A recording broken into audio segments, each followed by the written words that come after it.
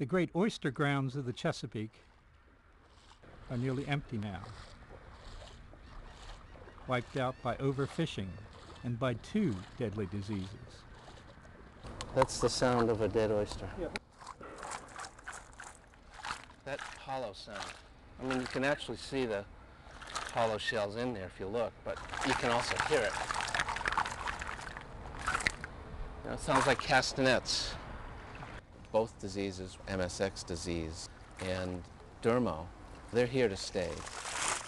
Stan Allen is a biologist, an old-fashioned bucket biologist, who believes he can beat both these killer diseases. He's been on the job for 12 years now. But MSX and Dermo have been here for more than 50 years.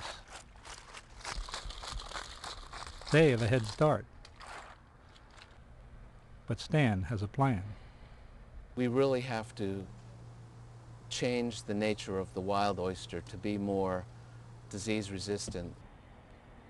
Stan's plan goes like this. Build a better oyster for the bay. And do it before time runs out.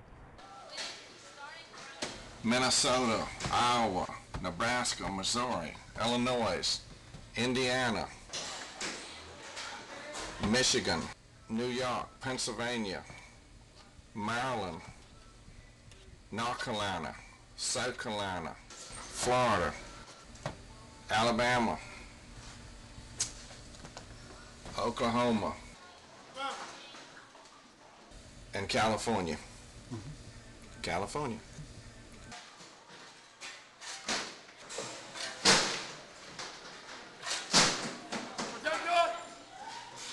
Oysters from the Chesapeake went everywhere in America. The great shucking houses of Maryland and Virginia used to ship Chesapeake oysters all across the country.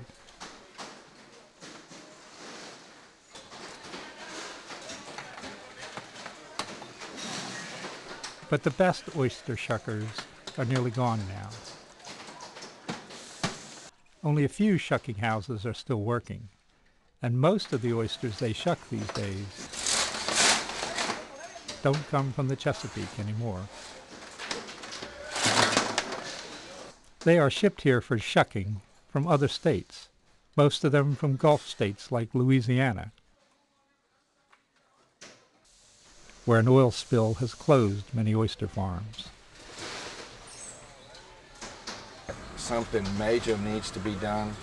We're trying to hold on to something that we're hoping that's going to come back.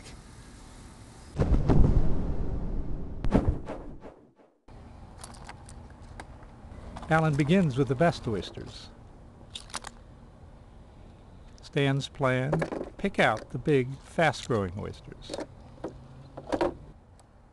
These oysters grew here on the tidal flats, where MSX and Dermo were killing many oysters, but not these oysters. They carry in their chromosomes some of the keys to beating disease, traits that keep them growing fast while other oysters are dying off. To capture those traits in a hatchery, Allen uses strip spawning. Scrape out sperm from male oysters, then eggs from females. Now I've got basically a pure suspension of eggs without any tissue or any other junk.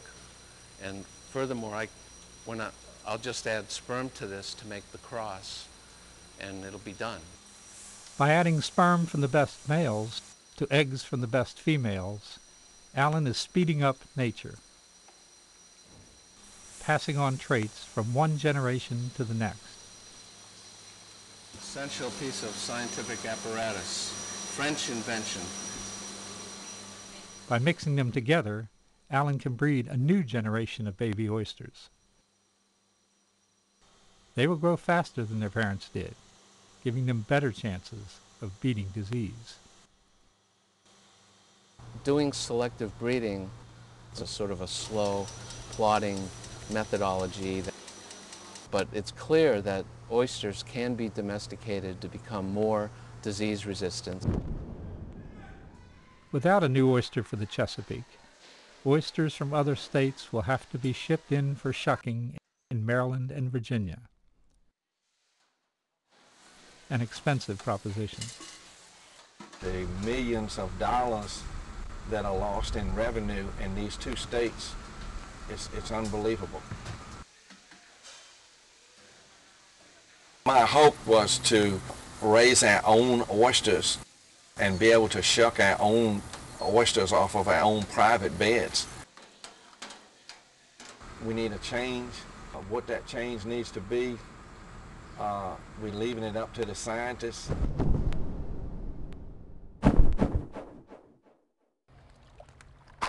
Part two of Stan's plan.